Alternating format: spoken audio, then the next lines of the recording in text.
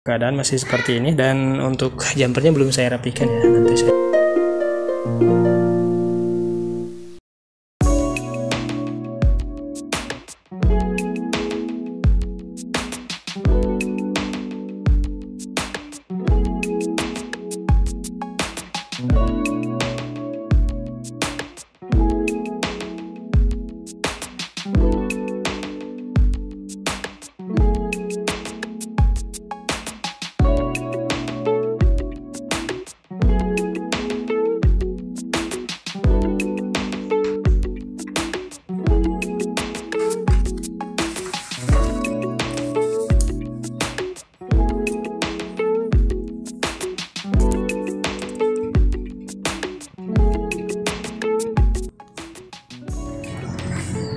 Oke kawan, setelah saya melakukan trik jumper ya.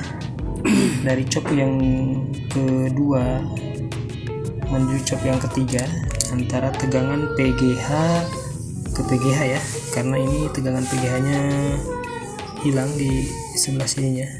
Di chop bagian ini ya. Ini pin datasetnya sorry kalau kurang jelas.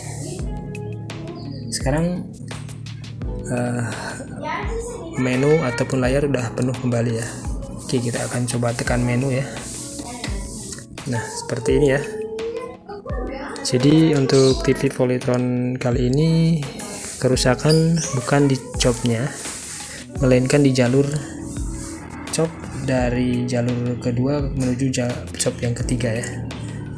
Jadi kita bisa akali dengan cara menjumpernya dari chop yang kedua PGH-nya dan menuju chop yang ketiga bagian PGH-nya tentunya.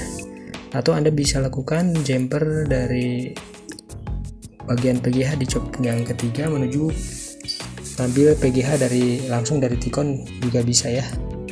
Kalau memang memungkinkan. Tapi dengan cara seperti ini pun sebetulnya sudah bisa, oke? Okay?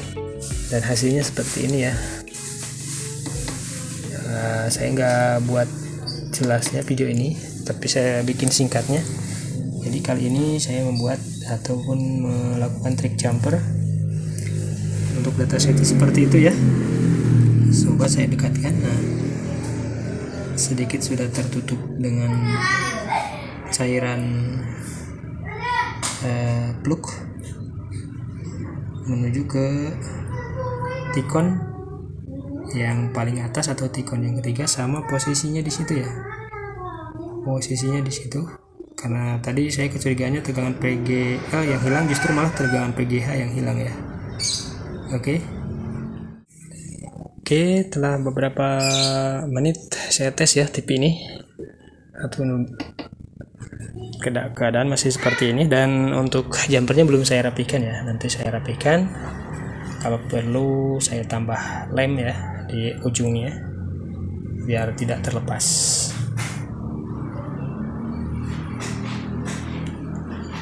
Oke, jadi uh, akhirnya seperti ini ya.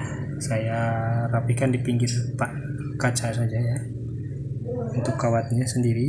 Nah, itu dia. Ini kawat email dari 10 jam saya gunakan seperti ini. Dan alhamdulillah masih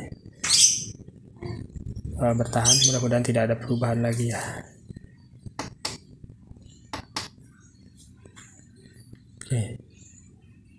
Terima kasih yang sudah nonton dan sampai ketemu di video saya berikutnya. Assalamualaikum warahmatullahi wabarakatuh.